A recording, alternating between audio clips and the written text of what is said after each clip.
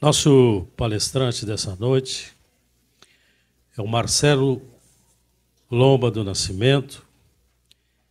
Ele é atleta profissional, goleiro do Esporte Clube Internacional. É natural do Rio de Janeiro, é casado com a Paula há sete anos e os dois têm dois filhos, o João e a Rosa. É bem-vindo, Marcelo.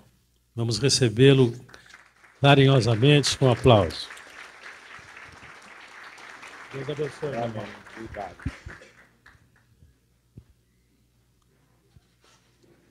Boa noite, pessoal. Tudo bem? Vocês estão felizes? Estão bem aí? Eu estou muito alegre de poder participar. Assim, estava até falando na mesa. Eu nunca imaginei que eu ia poder às vezes ter tantas pessoas aqui escutando eu falar.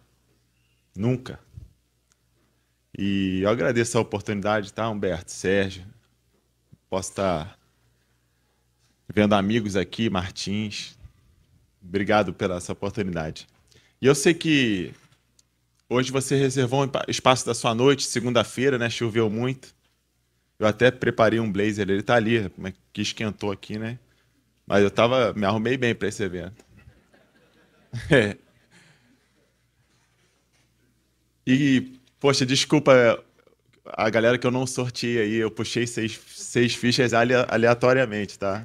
Mas seis foram felizardos. Mas enfim, estou muito feliz mesmo, estou com alegria. Eu não vim aqui hoje atrás de uma performance. Eu já sei que a performance não vai ser tão boa, que eu vou gaguejar, que eu vou esquecer o que eu estava falando, que vocês vão dar risada da minha cara porque eu sou um carioca, que morei muito tempo na Bahia, que hoje moro em Porto Alegre. Então eu falo irmão, dois, oxente, tchê, baita. Outro dia vi um, um, vídeo meu eu falando baita. Eu falei, cara. Mas é assim, né, gente? Então eu estou muito feliz de estar aqui hoje. E quando eu venho aqui na Adonep, um dia eu sentei na mesma cadeira que vocês sentaram, uma vez. E eu sempre conto essa história, eu vou repetir. Primeiro, que, que, legal que tem pessoas aqui pela primeira vez, em muitas pessoas. Eu, isso alegra muito o meu coração. E essa, a Donep é uma associação séria, na qual eu tenho grandes amigos. E eu sempre conto essa história. Que em Salvador, quando eu jogava no Bahia, eu conheci uma pessoa chamada Evilásio. E esse cara, a primeira vez que eu conheci ele foi numa churrascaria. Ele, ele me convidando para ir numa churrascaria. Sabe aquele cara que parece prefeito, deputado, cara alegre, que fala mais perto? Estão me ouvindo agora melhor? Beleza. Eu conheci um, um cara chamado Evilásio. E ele me chamou uma vez para ir na churrascaria. E o cara foi, era muito legal, muito simpático. E o cara me recebeu da melhor forma na churrascaria, pagou a conta. Eu falei, pá, cara é esse? E eu comecei a ter uma amizade com ele. Ter uma amizade de carinho, respeito. E um dia, ele me chamou para ir na Adonep. E eu não sabia nem o que era, nem sobre o que falava. E eu percebi que ele era um dos líderes da Adonep de Salvador. E aquele cara estava aqui na posição que eu estou hoje. E hoje, você era eu lá, ouvindo a palavra, ouvindo a mensagem. O Evilásio começou a contar a vida dele. De um representante de carnes, que nasceu numa família humilde, que, como eu falei, era um, era um cara bem articulado, um cara que vendia bem o produto dele, começou a crescer na empresa, crescer, começou a ganhar mais dinheiro, mais e mais dinheiro, mais e mais visibilidade. Um dia ele teve uma sacada, pá. Eu sei vender, eu tenho um bom produto, eu já tenho os contatos, eu já tenho um, um nome no mercado, eu vou abrir minha empresa. cara inteligente. Muito inteligente. E ele abriu a empresa dele. Quando ele abre a empresa dele, ele começa a crescer, começa a investir muito, começa a aumentar é, o tamanho da empresa, o capital dele, e de repente, ou pela crise no país, ou por escolhas erradas, A empresa dele, ó. E ele estava aqui, que nem eu falando, e eu ouvindo. Eu falei, pá, deu errado a empresa dele. E ele começou a passar cheque sem fundo, as dívidas começaram a aumentar, as pessoas começaram a comprar dele, o nome dele no mercado começou a cair, a imagem dele começou a ficar suja, começou a se atolar em dívidas, dívidas, dívidas, não teve mais jeito, ele começou a pegar dinheiro com a agiota. Quando ele começou a pegar dinheiro do agiota, vocês já sabem. Quem não paga o agiota sequestraram ele, botaram no porta-mala de um carro. E nesse momento os meus olhos falam assim: Cara, que, que é isso, cara? Falaram: Em 15 dias você tem que me pagar, senão, senão você já sabe. E esse cara falou assim: Eu vou morrer. Eu não, eu não tenho 15 dias. E eu, e eu perguntei para ele um dia: Quanto era que você estava devendo? 20 mil? 30 mil? 50? Não, eram 2 milhões de reais. Ou seja, um cara tinha 15 dias para pagar 2 milhões de reais. Não tinha jeito. Aí ele era um torcedor do Bahia, ele era muito engraçado. Aí ele falou assim: Marcelo, não tinha jeito. Não tinha jeito. Quer saber? Eu vou ao jogo do Bahia, que é a paixão dele. Eu vou no estádio e eu vou me jogar lá da arquibancada, cara. Eu vou me suicidar. Olha só que ideia. E ele tá subindo a rampa do estádio. E ele falou assim, cara, eu me despedi da minha mulher, larguei tudo fora, não tem mais jeito, minha vida acabou. É hoje, é hoje. E ele subindo a rampa do estádio, ele encontrou um amigo que era da Adonep, que tinha trabalhado com ele. E o cara abraçou ele assim e falou: Cara, tem uma reunião amanhã para você. É a sua cara de empresários bem-sucedidos, de pessoas com dinheiro, de pessoas bem-quistas, de pessoas influentes na sociedade. Aí o cara, pô, irmão, cara o cara não sabe, eu tô aqui para morrer cheio de dívida. Deixa eu me suicidar em paz. Me larga. E o cara, não, a Adonep é para você. Amanhã eu tô te convidando. Eu vou te buscar em casa. Você vai. O cara recebeu um convite igual você talvez tenha recebido hoje. Eu não sei a situação que você está passando, nem, nem te conheço. Mas sei que vocês são lindos, tá, gente? Mas o Evilásio recebeu um convite no momento que ele estava destruída. E ele, com a cabeça balançando, ele aceitou. E ele pensou assim: ó, oh, quer saber? Eu vou lá na Donep dar o golpe em alguém, vou pedir um dinheiro emprestado, alguém pode me salvar dessa situação. E ele entrou no dia seguinte na Adonep. E lá ele recebeu uma palavra, uma mensagem que mudou a vida dele. Olha, então não, sub, não subestime o local que você está hoje. Não subestime o local que você está hoje. Eu não vim aqui te ensinar nada. Para terminar, hoje o Evilásio ele é o maior distribuidor do Nordeste de carne bovina, suína, de batatas congeladas, picolés. Ele tem a maior câmara, câmara frigorífica do Nordeste. Ele é milionário, gente, milionário de verdade ele patrocina o Bahia. Ele tinha um sonho, lembra que ele ia suicidar vendo o Bahia, gente? Hoje ele é patrocinador do Bahia. Se você olhar o Bahia jogando, tem escrito Canaã Alimentos, é a empresa dele. Um dia ele recebeu uma mensagem, uma palavra que mudou a vida dele. E hoje eu estou aqui. Quando eu vim aqui, eu lembro dele, cara, porque ele é um cara que me ajudou muito, me fortaleceu muito como amigo, como mão estendida na minha vida. Eu sempre procuro honrar ele nesse momento. Então eu não vim aqui te ensinar nada. Te garanto, eu não vim te ensinar nada. Não vi tem performance, não vim mesmo. Mas eu queria te pedir a oportunidade de você abrir seu coração hoje. Só isso. Só abrir seu coração. Será que você deixa? Será que você me dá essa oportunidade? Em troca, eu te ofereço a minha vida. Eu vou expor a minha vida, o meu tesouro, a minha família. Vou abrir mão da minha vergonha, de coisas que já passaram, de coisas que eu tenho orgulho também, que eu agradeço. em troca de uma oportunidade sua. Podemos caminhar assim, gente? E aí, no final, a gente conversa. No final, vocês me contam. No final, se eu puder te dar um abraço, se a gente puder estar junto. Maravilha, beleza? Então vamos lá.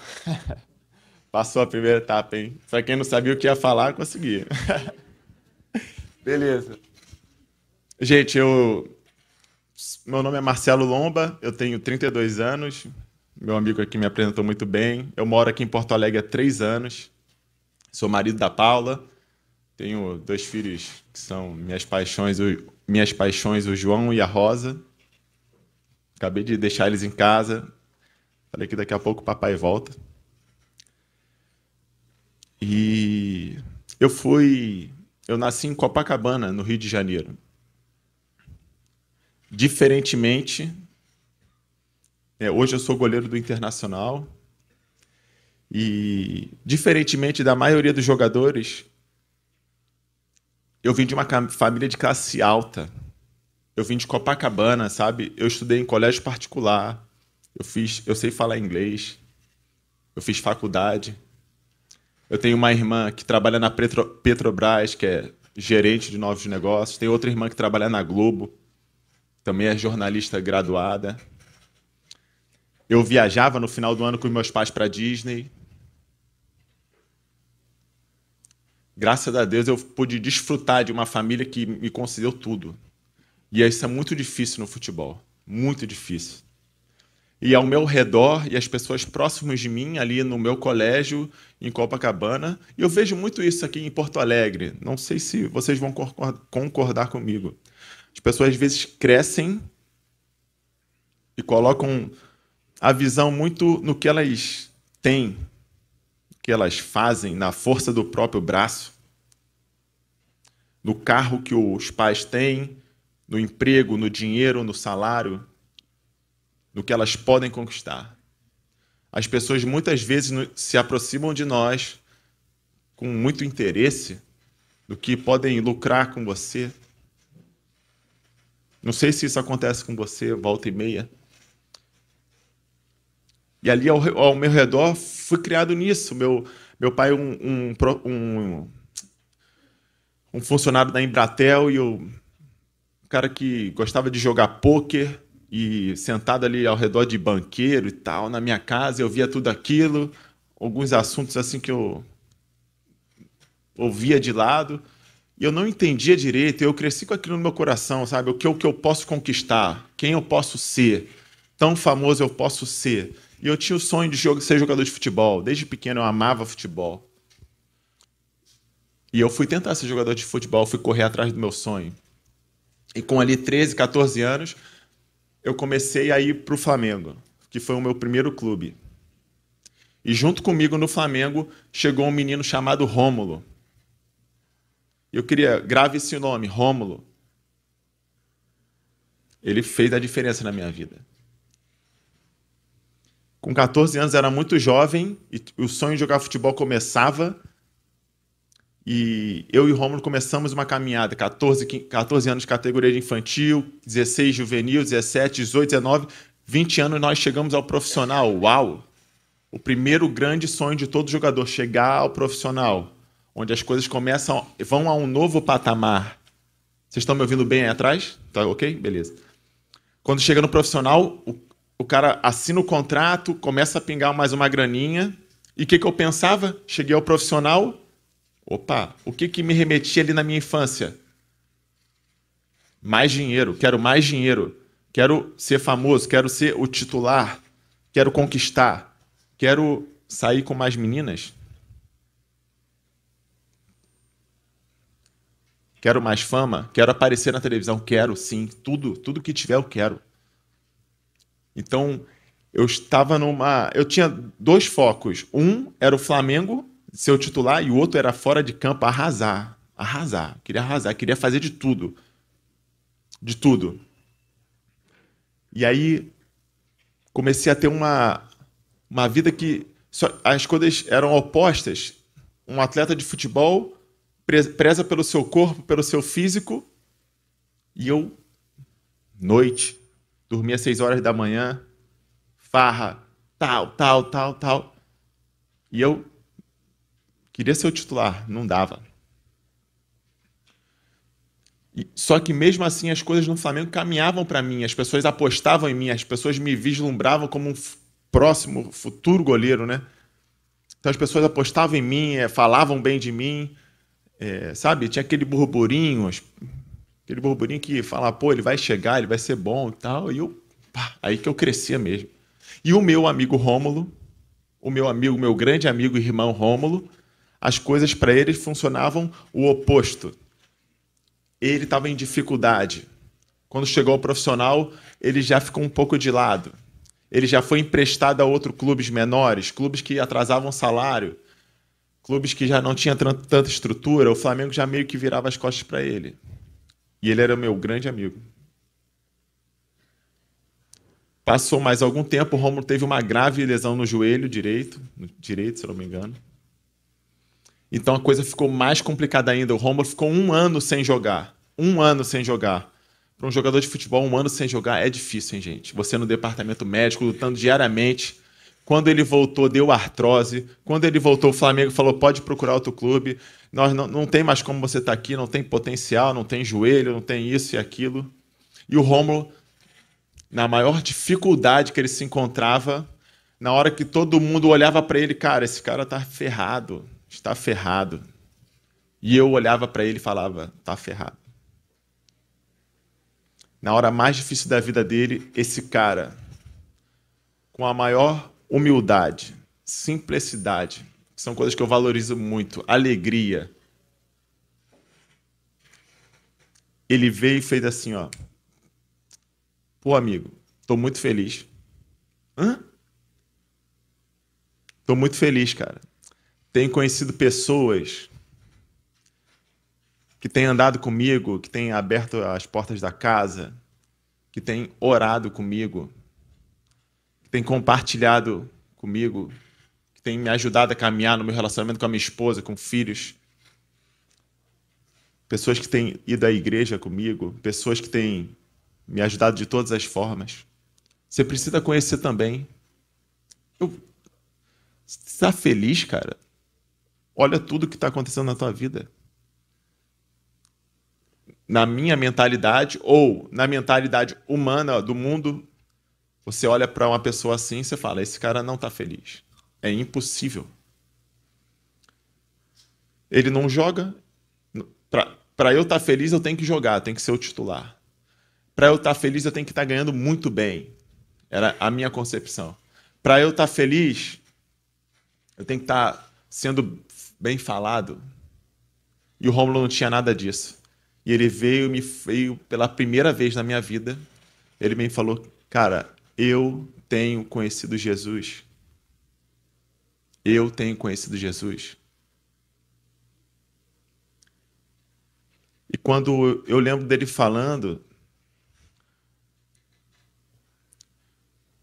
eu, eu falava, cara, esse cara é a última opção esse cara é o, a, o último a ser escolhido, é o cara que, que menos tem é, chance aqui dentro do elenco, e o cara está me falando que está feliz. E passava um mês eu continuava acelerado, continuava fazendo muita festa, muita farra, mentindo muito. E Rômulo, lá na frente, mais uma vez, de novo, eu vou ressaltar, com humildade, com alegria, simplicidade, sem sem gritar, sem, sem girar. Com amor, ele vinha e me falava de Jesus. E entrava no meu ouvido de, de um lado, saía do outro. Entrava de um lado, saía do outro. E mês após mês ele, ele vinha me falando, vinha me falando. E um belo dia, o Flamengo estava numa competição super importante, que é hoje que é a competição mais importante da América do Sul, que é a Copa Libertadores. Hoje, Inter e Grêmio estão na Copa Libertadores, você deve conhecer bem. É o campeonato mais desejado de todos os clubes aqui da América do Sul, disputado. É guerra, é premiação milionária, todo mundo quer vencer. O pessoal abre mão de outros campeonatos para vencer a Copa Libertadores, de tão importante que ela é. E o Flamengo estava na Copa Libertadores. Só que o Flamengo não vinha jogando bem. Não vinha jogando bem. E quando nessa, né, nessa fase que não vem jogando bem, decidiram trocar o treinador. Quando trocaram o treinador, o treinador chegou lá, não conhecia muito bem o elenco, e a gente tinha um jogo importantíssimo contra o Corinthians, que na época era o melhor time do Brasil. Tinha o Ronaldo Fenômeno, Roberto Carlos, enfim, Dentinho. Era um time muito bom, tanto é que era o melhor. O Flamengo foi o pior dos classificados, e o Corinthians foi o melhor, um enfrentava, enfrentava o outro. Então, favorito, grande favorito, era o Corinthians. E nesse, o Flamengo trocou o treinador, o cara fala: tem que dar um jeito aqui e de repente ele foi organizar o time que ia entrar em campo. O treinador do Flamengo foi organizar o time que ia entrar em campo. E ele começou a escolher. O goleiro era o Bruno, o lateral direito era o Léo Moura, esse, esse, esse. De repente ele. Rômulo. Rômulo. Cara, a nossa primeira reação falou assim: meu amigo, ele tá maluco esse treinador. O Rômulo não joga há dois anos. O Rômulo manca do joelho. O Rômulo tem artrose no joelho. Como que ele vai escolher o Rômulo para jogar? Alguém avisa esse treinador para ele não fazer isso, por favor, porque esse jogo vale muito. É a Copa Libertadores, é o jogo de maior audiência do Brasil, pois envolvia duas grandes equipes de duas grandes torcidas. E ele escolheu o Rômulo para jogar. Até eu Olha como nós somos falhos. Até eu que era amigo dele, que devia estar assim, pô, que bom que ele escolheu Roma. Falei, por favor, cara, alguém avisa o cara que eu quero é mais é classificar para que eu ganhe mais dinheiro, né? E ele escolheu o Rômulo. E quando o Rômulo foi se preparar o jogo, a gente fica na concentração. A gente fica num hotel antes do jogo se preparando. E eu, como era amigo dele, eu fiquei no quarto com ele. E eu comecei a observar as atitudes dele como ele falava com a esposa dele, como ele orava, como ele lia a Bíblia, como ele escutava umas músicas diferentes que louvavam a Deus. Eu falei, tá. Dele estar tá sendo escalado é um milagre, gente. Só que amanhã ele vai ter que jogar e ele vai ter que marcar o Ronaldo Fenômeno ainda. Então, é... no fundo, acho que eu até dar uma debochada. Assim, esse cara tá, o cara tá arrebentado. Isso porque eu era amigo dele, hein, gente. E no dia seguinte, cara, o Flamengo foi jogar esse jogo no Maracanã. Estádio completamente lotado, uma pressão enorme.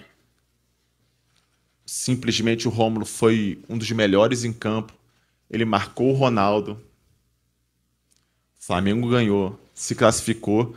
E, e eu, cara, eu lembro como se fosse hoje eu sentado no meu sofá, olhando a televisão. Quem estava na televisão, gente? O Rômulo dando entrevista, cara. Tudo que eu mais queria na minha vida, o, o cara dando entrevista. E ele falava assim: Eu sei que Deus me ajudou. Eu sei que Deus me abençoou nesse momento. E foi a primeira vez na minha vida eu vindo de um lar que nunca tinha conhecido ou falado de Jesus. Por isso que eu falo, eu nunca imaginaria estar aqui, nunca. Que eu abri o meu coração. Igual eu perguntei para vocês, vocês estão disponíveis para abrir o coração hoje? Foi a primeira vez.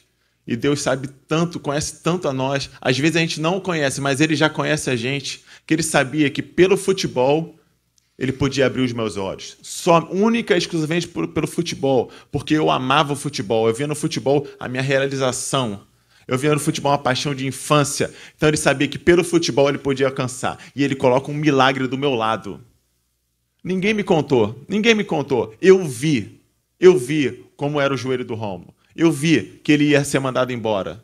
Eu vi que o presidente do Flamengo não queria escalá-lo, mas o treinador, porque quando Deus dá uma ordem a teu respeito, ele é fiel para cumprir. Quando ele fala, é a tua hora, é a tua hora. Não, ninguém pode impedir isso. E Deus falou, é a hora do Rômulo. E de tabela, graças a Deus, ele, pum, me alcançou. Eu sou feliz, porque numa situação de humilhação, de chacota, alguém teve a ousadia, a coragem de falar para mim de Jesus. Porque se ele não falasse, quando ele tivesse vivido a bênção na vida dele, eu não ia acreditar que era Jesus. Não ia mesmo. Eu ia falar que era por uma sorte, ou, um, um, ou que ele era apadrinhado pelo treinador, era coisa de empresário. Mas eu ouvi ele falando de Jesus. Que Jesus rompe barreiras, que Jesus transforma vidas, transforma caráter. E eu abri meu coração. Falei: Ei, Rômulo, eu quero conhecer.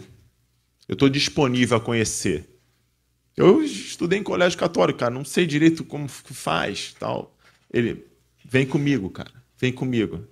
E começou uma amizade de amor, de companheirismo. E a gente começou a andar juntos. Depois disso, eu comecei a jogar no Flamengo. Teve aquele episódio com, com o Bruno. Eu comecei a assumir com o Flamengo, cara, e eu era tão feliz. Eu sabia que era Deus usando a minha vida. Comecei a ser o titular do Flamengo, cara. Conheci Jesus, olha que maravilha. Me abençoou, sou o titular do Flamengo. Eu falava de Jesus para todo mundo. Quem passava na minha rua, Jesus. Passava do meu lado, espirrava Jesus. Muito feliz. Só que com isso, com, com essa posição de destaque num grande clube, como é Inter, como é Grêmio, enfim, como são esses grandes clubes, cara, começou a vir uma fama sobrenatural, um dinheiro muito grande, mas visibilidade. Se as festas eram as melhores, as farras, as tentações eram as melhores possíveis, ainda mais no Rio de Janeiro. Cara, aí uma hora eu balancei, larguei a minha esposa, larguei Jesus, compromisso, e me afundei, cara. Me afundei assim, me, me entreguei. Voltei tudo aquilo que eu era. Voltei tudo aquilo que eu era. E as coisas, assim como subiram, elas caíram bem rápido também, bem rápido. E o Flamengo, no final do ano, no final do campeonato, aquele que eu tinha começado a ser o titular, ele falou assim para mim: Olha, Marcelo, não dá mais. É, você está afastado. Vocês lembram do Rômulo, a situação que ele estava? Afastado, humilhado, última opção. Agora era a minha situação. Era a minha situação. Descobri que a minha esposa estava grávida, não tinha para onde ir, nenhum clube me queria. Comecei a ficar em situação de quem eu lembrei. Lembrei de Jesus de novo. E Jesus é tão bom, Deus é tão bom que ele não se importa que você retorne. Ele, ele se alegra quando você retorna. E comecei de novo. E aí fui para o Bahia, como contei para vocês. No Bahia comecei a ter destaque, comecei a ir melhor, comecei a, a virar ídolo do clube, comecei a voltar a aparecer para o cenário nacional, me destacar. Eu sabia que Deus estava restituindo todas as coisas. Só que, cara, a gente tem a cabeça muito oca mesmo, né? Quando eu cheguei lá, eu tive alguns problemas no meu casamento, que minha esposa era muito jovem, tinha ganho o nosso primeiro filho, João, que hoje tem oito anos. Ela ficou com um pouco de receio de, de ir para a Bahia comigo, né, que era uma mudança. Ela não foi. E aí eu também já não queria que ela fosse mais. E aí eu comecei a, de novo, gente, comecei a balançar de novo e me perdi no Carnaval da Bahia, com a Ivete Sangalo, com a Cláudia Leite, tal, tal, tal. E fiquei anos assim, sabe por quê? Porque as coisas continuavam dando certo. Ou seja, eu comecei a caminhar com Deus porque as coisas davam certas. Isso é meio raso. E eu falava, não, agora eu aprendi, agora eu, eu já estou experiente, já estou bom nisso. E as coisas continuavam dando certo, só que com a minha família, não queria nem saber. Relacionamento com meu filho, tinha um filho, gente, o João, hoje é o amor da minha vida. A melhor coisa da minha vida é dormir com os meus filhos, é buscar, levar e buscar na escola. É quando ele entra comigo no meu campo, olha, eu abri a mão de estar com ele.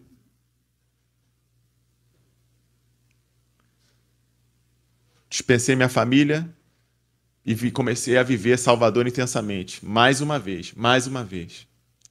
E um dia eu era capitão do Bahia, ídolo, torcida me respeitava muito, ganhava bem, tinha muita moral, aparecia na televisão, fazia comercial para o governo do estado. Olha, imagina. Fui jogar uma final. Fui jogar uma final. Estádio lotado. Vamos fazer uma enquete aqui, galera. Me ajudem. Quem está indo jogar uma final? Quem quer ser campeão aí? Levanta a mão, por favor. Todo mundo quer ser campeão, né? Eu também, galera. É, eu também queria ser muito campeão. E eu orava para Deus, Senhor, me abençoa, eu quero muito ser campeão. Só que, no fundo, eu queria era fazer festa mesmo. Eu queria usar tudo aquilo ali para fama e vaidade pessoal. Fama e vaidade pessoal. Ego. Ego. Sabe o que aconteceu nessa final? Eu fui.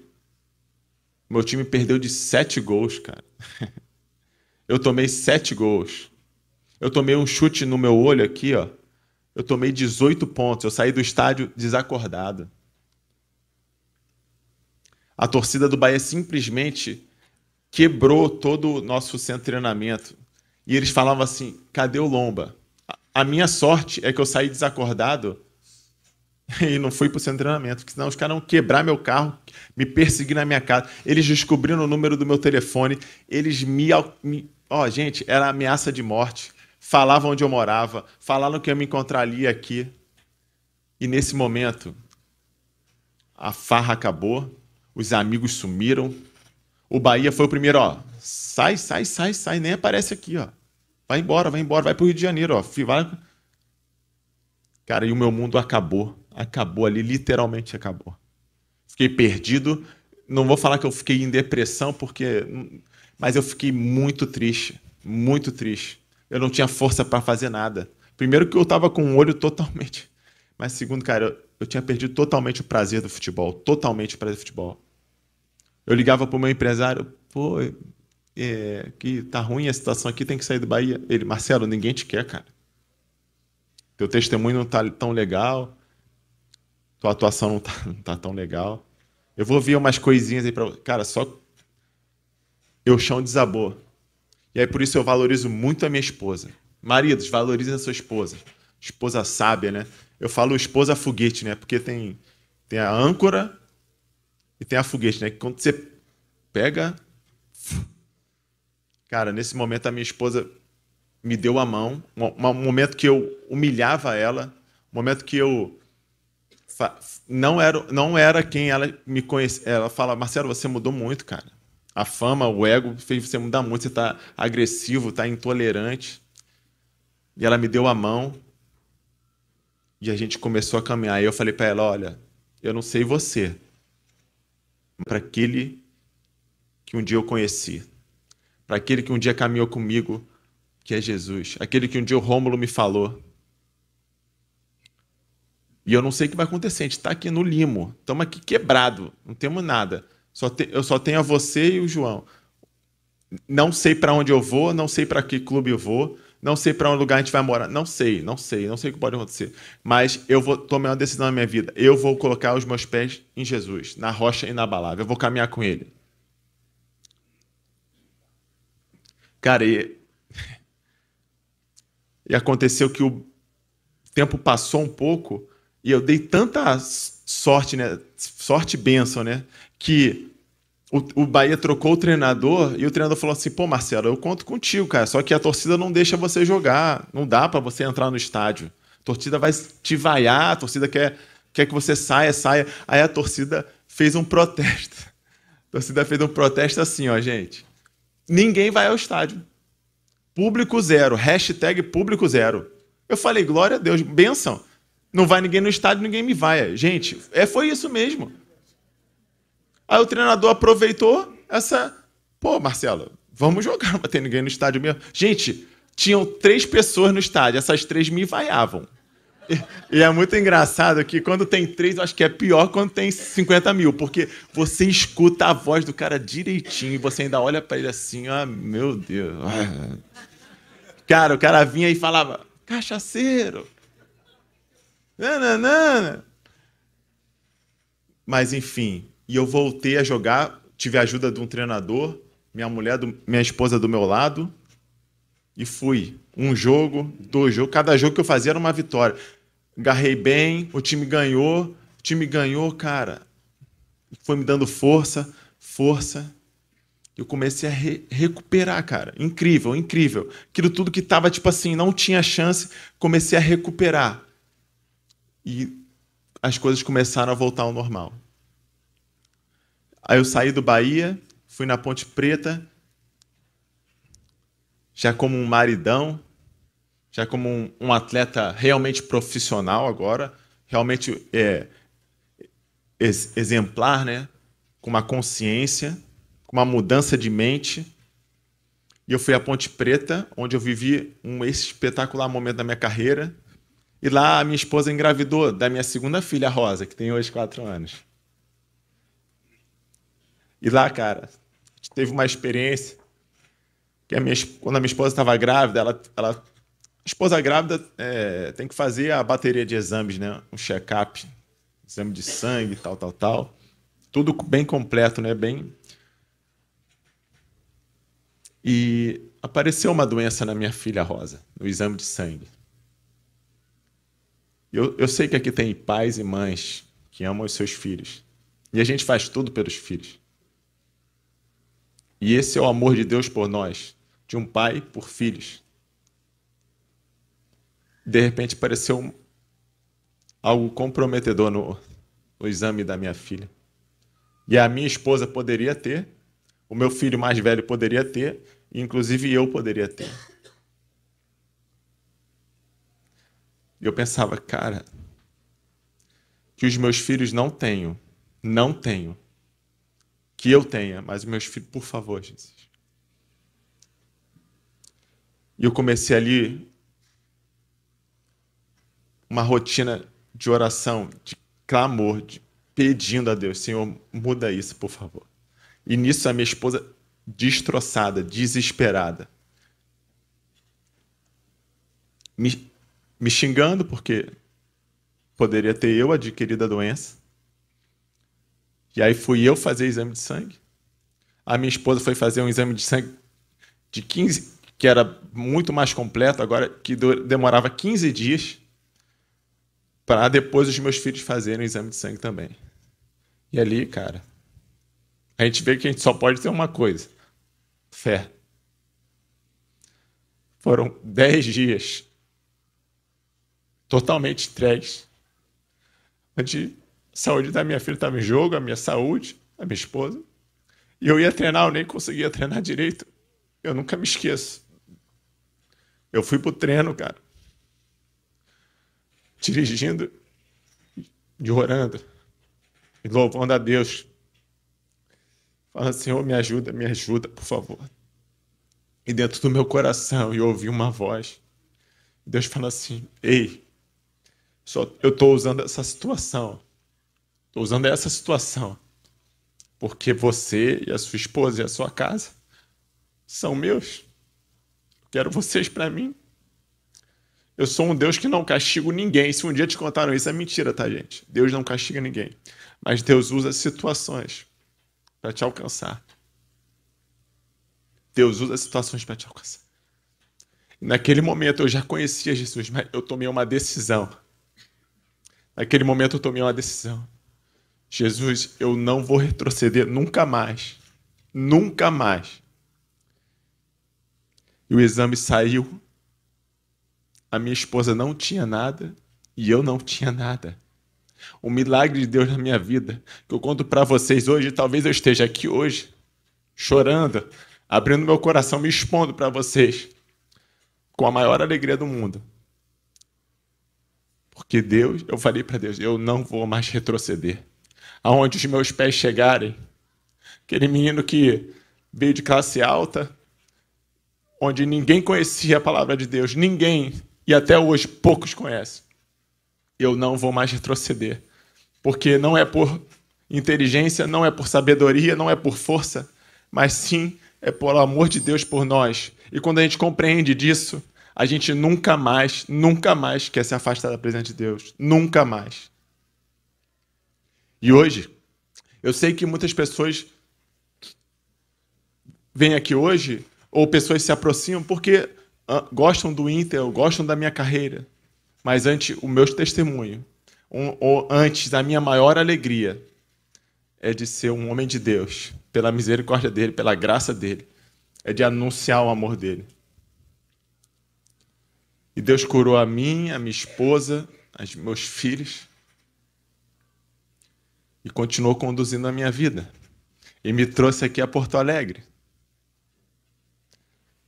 Ou seja, eu cheguei aqui em Porto Alegre, eu já tinha intimidade com Deus, já tinha um caráter transformado, já era um bom pai, acredito eu, um bom marido, um marido fiel, um bom amigo.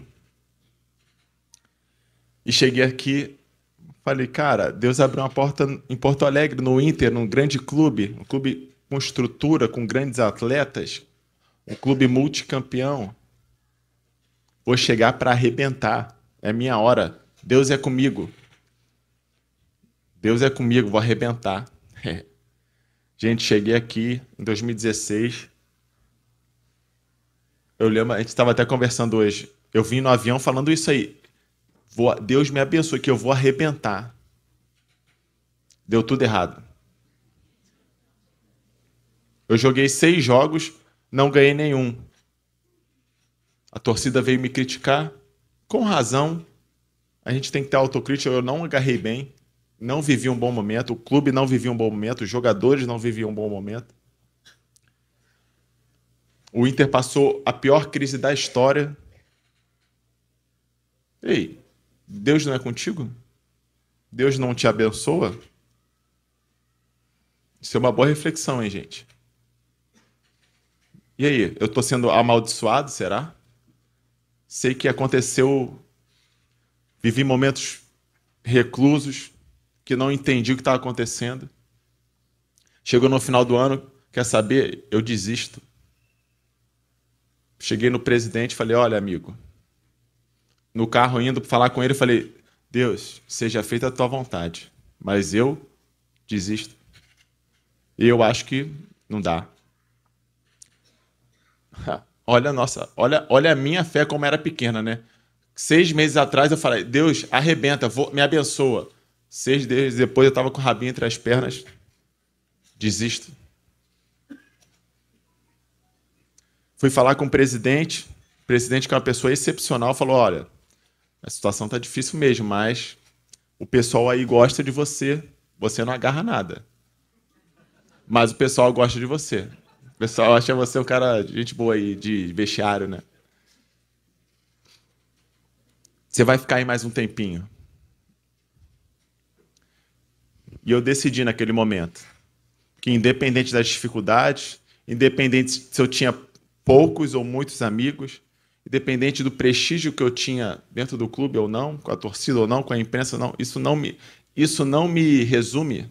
Eu não sou o que as pessoas falam que eu sou. Eu sou o que Deus fala que eu sou. E na palavra dele diz que eu sou mais que vencedor. Que tudo coopera para o bem daqueles que amam a Jesus. Eu creio nisso. Eu não creio no que falam de mim na imprensa. Eu não creio. Eu não tanto para o bem quanto para o mal, tá, gente? Quando me aplaudem ou quando me vaiam, não resume quem eu sou. E eu, eu, eu decidi, naquele momento difícil, Jesus, eu não vou retroceder. É uma decisão.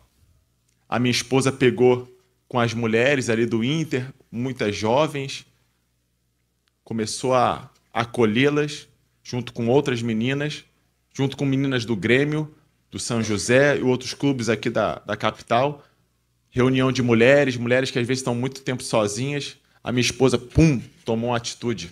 Eu peguei do outro lado, lá dentro do clube, vindo dar palestras, indo a é, centros de reabilitação, indo em outras igrejas, indo, em, em, enfim, em institutos sociais. Falei, eu não vou retroceder, não vou retroceder. E comecei a, a caminhar. E Deus começou, cara, a mudar minha história aqui em Porto Alegre. Deus começou a mudar minha história em Porto Alegre, começou a me dar algumas oportunidades de jogar, aí a torcida que, já, que, que, que não me via com bons olhos começou a mudar a impressão, pô, esse cara... Ah.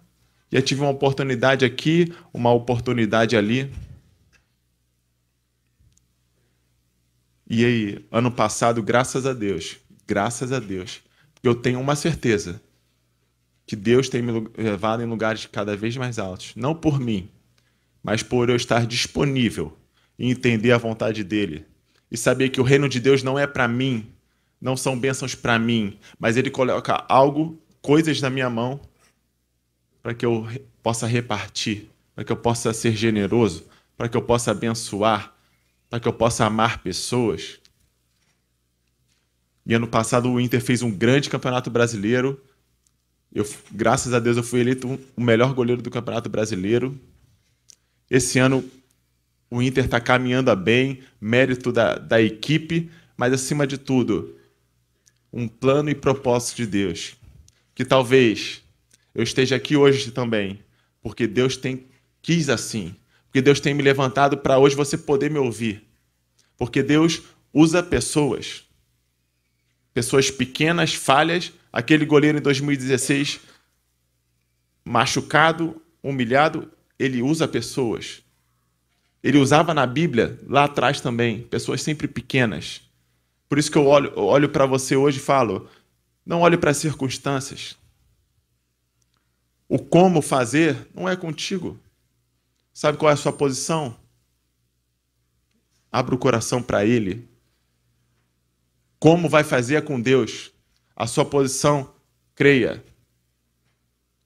Pela fé, você recebe duas coisas: graça, porque nós não merecemos. Nós não somos tão bons assim, gente. Nós recebemos a graça em Jesus. E você caminha pela fé. Quando você crê na Bíblia, talvez você não entenda muitas coisas, mas você crê. Eu comecei a crer. Um dia, tudo posso naquele que fortalece. E virou a minha realidade. A minha realidade não era essa. Mas eu cria na minha realidade que Deus falava que era. E hoje eu posso estar aqui tendo essa oportunidade de falar para vocês. Muitas pessoas têm me perguntado como? Como muda? Como faz? Como toma uma decisão? Muitas pessoas. E eu ouvi uma história bem simples. E eu queria compartilhar com você essa história. Um menino, adolescente ali na, na época de estágio, ele tinha um sonho de ir para uma grande empresa, que era o sonho da vida dele, porque aquela empresa era boa, pagava bem, tinha uma boa estrutura, e ele começou a pedir a Deus assim: Deus, me coloca naquela empresa. Quero muito. Ele começou a falar com os amigos dele, né? para os amigos mais próximos, pô, vamos, vamos pedir a Deus para eu ir para aquela empresa, cara. quero muito ir para aquela empresa. E eles começaram lá a pedir a Deus, vamos lá, orava, tal. E um dia passou um tempo, ele, puf, o menino foi chamado para a empresa. Olha que benção. E ele falou: "Cara, fui chamado para a empresa. Agora, sabe o que eu vou fazer naquela empresa? Eu vou chegar chegando. Vou chegar falando de Deus, eu já vou botar logo um culto lá dentro. Se alguém falar alguma coisa, eu vou falar que é Deus, tal, tal, tal, é Deus. Tal. E, e, eu, e aí um amigo falou para ele, um amigo muito sábio falou assim para ele: Não. Não. Não, mas pô, é Deus que me deu essa. Não, não, Deus te deu essa oportunidade. Mas não é assim. Sabe o que você vai fazer? Você quer refletir a Jesus? Eu vou dar uma chave para todos nós aqui, para aqueles que desejam. Você quer refletir a Jesus dentro da sua empresa? Tem médicos aqui, médicos, advogado, enfermeiro. Gente, a profissão que você estiver, quer refletir a Jesus? Estudante, seja o primeiro a chegar, último a sair. Esteja disponível, faça o seu melhor. Se as pessoas falam mal de alguém, não fale. Não julgue. Se as pessoas contam mentira, mentiras, não conte. Se alguém precisa de ajuda, ajude. Se alguém te pediu 10 folhas escritas, faça 12. Seja o primeiro a estender a mão para ajudar alguém. Se o seu chefe chegou lá, ó, oh, minha empresa vai falir, estou quebrado, você fala, não, cara, vai ter jeito, nós vamos te ajudar. E as pessoas vão começar a ver em você. Naqueles que recebem, que creem em algo especial da parte de Deus. Que, que Deus fala: vocês serão sal na terra, luz do mundo. Quem conhece, quem aceita, quem recebe Jesus, ele fala: vocês vão ser luz do mundo. E a luz não foi feita para ficar embaixo. Já viu alguma lâmpada embaixo? Para quê? A luz, aqueles que conhecem Jesus, foram feitas para ficar no lugar mais alto, no lugar que todos vejam. Assim diz a palavra de Deus. Você é a luz do mundo, você vai ficar no lugar mais alto, lugar apropriado, dependendo da versão que você leia.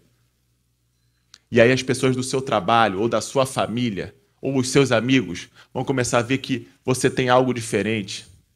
Que você não faz as coisas esperando dinheiro ou bem, você faz as coisas por amor. Porque você é um bom profissional. Porque o seu coração é diferente. E eles vão começar a te perguntar: Ei, o que, que você tem aí? Essa é a maneira que eu prego no Inter. Essa é a maneira que eu pego no Inter. E aonde eu quer que eu vá, o meu testemunho vai falar por mim. As minhas atitudes vão falar por mim, os meus pensamentos vão falar por mim. As minhas palavras vêm depois.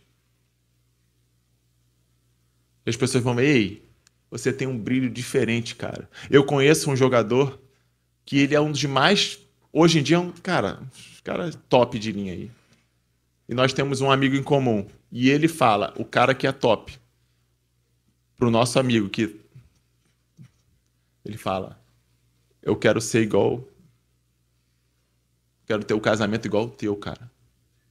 Olha, o cara que é top, que está nos melhores clubes do mundo, dinheiro, fama, seleção brasileira, o cara fala, eu desejo ter a vida igual a tua, cara, porque você tem uma luz diferente. Você tem uma luz diferente. E aqueles que conhecem, aqueles que entendem, carregam essa luz diferente. Carregam essa luz diferente. Então hoje, agora para finalizar, Humberto, vem aqui comigo. Lá no início eu falei, quando eu venho aqui, gente, eu venho, ah, eu fico muito nervoso. Fico ansioso, me dá uma suadora. Eu acho que o estádio aqui tá 100 mil pessoas. Sério. Falo o que, que eu vou falar, as pessoas vão rir de mim, eu vou me expor. Mas quando eu chego aqui, quando eu venho no carro, eu vejo que há um propósito sobre a minha vida e que ela aponta para os céus. Eu jogo fora o medo, eu lanço fora a ansiedade, eu tomo uma decisão. Vou de, vou de cabeça. Vou, não importa o que as pessoas vão pensar. E hoje, nós estamos em momentos aqui onde comemos um maravilhoso jantar, onde eu tive o privilégio aqui de falar, e agora é um momento com vocês. Com vocês. E eu vou passar a palavra para o meu querido amigo Humberto. Obrigado, querido. Sempre.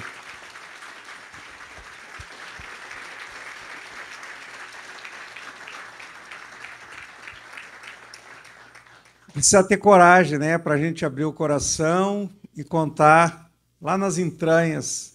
Te agradecer, eu acho que todos aqui te agradeceram, né, com essas palmas, a tua generosidade de nos abençoar. Mas essa eu interpreto o que ele falou aqui como uma história de um relacionamento. E era o relacionamento dele com Deus. Deu para ficar, deu para entender esse relacionamento criado de um jeito, com valores diferentes, porque ele, o DNA dele era diferente. E aí foi uma caminhada, né? Que tu, Deus te usou Rômulo, depois usou Evilásio, que é um grande amigo aqui, nós, já veio aqui no Rio Grande do Sul, numa uma convenção da Donep em Santo Ângelo. Eu tive o prazer de ouvi-lo mesmo, ele é uma pessoa muito especial, né? chega a ser divertido. Tu ri tu chora. Era um, a linguagem do mundo assim era quase um cafajeste, Né? Quando ele foi preso, me lembrei de uma história. Quando ele foi preso, nessa história toda, cheque sem fundo, o Evilásio, e quando ele chegou, ele não tem curso superior, ele foi entrou na cadeia com os presos comuns ali, né? Imagina um cara que tinha milhões, perdeu, está devendo milhões e é preso. E o pessoal chegou para ele, e isso é verdade, ele conta, né? Parece que a gente ri, mas é verdade. Ele, ele pergunta para ele o que, qual foi o crime, né? E ele, matei três. Ele responde daquele jeito baiano. Ele contou isso naquela noite? Contou, né? Porque aí as pessoas respeitam mais, né? Então, dentro, assim, um cara tão perigoso quanto aqueles que estão lá. E em outro momento ele chora de toda a restauração dele, que ele foi lá para dar um golpe mesmo na Donep. E hoje ele é generoso na Donep, ele investe muito, assim, para investe a vida dele, né? Eh, em, em projetos sociais na Donep. Mas essa história de relacionamento não é só da, dele, né? É o, inclusive o mais interessado nesse lado do relacionamento é Deus. Ele que providenciou, né, alguém para nos reconciliar com ele. Então Jesus, ele veio para reconciliar o homem de uma certa inimizade que a gente tem, a falta de crença no nosso Criador, no nosso Salvador. Isso é visto você também se veria, você faz tudo por uma pessoa e a pessoa se volta para outras coisas e não para Deus. Então se cria uma inimizade e Jesus veio para restaurar isso. Então Jesus é o maior interessado em restaurar pessoa a pessoa, vida por vida. Por isso que a Donep é um dos instrumentos, uma ferramenta que vai dar uma oportunidade desse, dessa, dessa restauração desse relacionamento. Então, Deus quer fazer uma aliança com cada pessoa nesse mundo. Né? As Escrituras dizem que ele não se alegra com nenhum sequer né, que se perca. Né? Então, eu queria que todos ficassem de pé agora. E, e a gente na Donep sempre dá uma oportunidade para as pessoas tomarem uma decisão. Hoje é 12 de agosto. E pode ser o dia da mudança da sua vida. Não sei como é que a sua vida se encontra. Pode ser uma história diferente, pode ser uma história de negócios, de saúde, de relacionamento. Hoje, os problemas de relacionamento nunca tiveram tão urgentes, tão pesados nas famílias, nas empresas, com sócios, enfim. O relacionamento, a gente está muito esperto, muito inteligente, mas parece que a gente está regredindo numa parte moral, ética. Não importa a situação que tu estás, a Bíblia uh, fala de um momento de uma entrega, é a da salvação.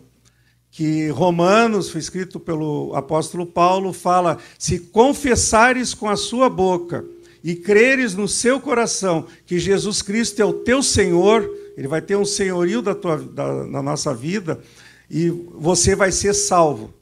Então, é uma, é, não é só uma história que ele veio contar aqui, que é, que é muito prática, a gente entendeu, se empolgou, se emocionou, mas é algo mais eterno ainda. É algo totalmente eterno. Deus nos criou para a eternidade. A própria Escritura diz que ele nos deu uma semente da eternidade no coração de cada um. Por isso que a gente é tão inconformado com a morte, né? Então há uma solução. Eu brinco que as pessoas hoje eu estava com problema de lugares aqui, né? E, e, vendo até posições aqui no restaurante.